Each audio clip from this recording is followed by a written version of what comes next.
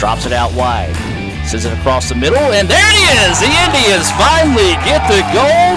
2-1 ICC trailing with 22-11 to play. Well, here comes the Indians on the attack. They've got numbers on the opposite side of the pitch. They go across the middle, fires it in, and the Indians have tied it up. Big time transition there in the attack for the Indians.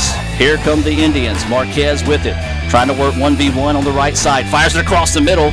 Nicely broken up, and then there's O'Daniel, and it gets in! The Indians take a 3-2 lead. You got the game winner. Just talk about today's game. Man, it, it was a hard-fought game. We played, we didn't play the best as we could the first half. Led up two goals in the first half. We had chances, a lot of chances. We put it on them uh, first and second half. Pretty much the whole game. We had high pressure. We played, we put it on them the whole time. Uh, we couldn't get any to fall to, in the first half. And then second half, we were. It felt like we were on their side of the field the whole time. And Lando got one, Irvin got one, and about two or three minutes left in the game, ball was bouncing around the box, came to me, and I put one in. And those are the fun games when you when you're down and you come back and win. With the 3-2 victory, just talk about your guys' performance today. I, I mean, I'm almost speechless. I mean, down 2-0 with 30 minutes. In fact, 25 minutes to go. In fact, 24-50 if I remember correctly. And uh, just to see them fight back with that type of resiliency.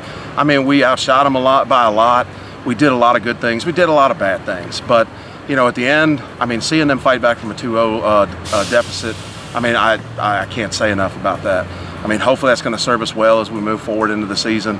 2-0 in the conference and uh, in good shape right now, so we couldn't be happier. And the guys just played their hearts out, and I'm super proud of them.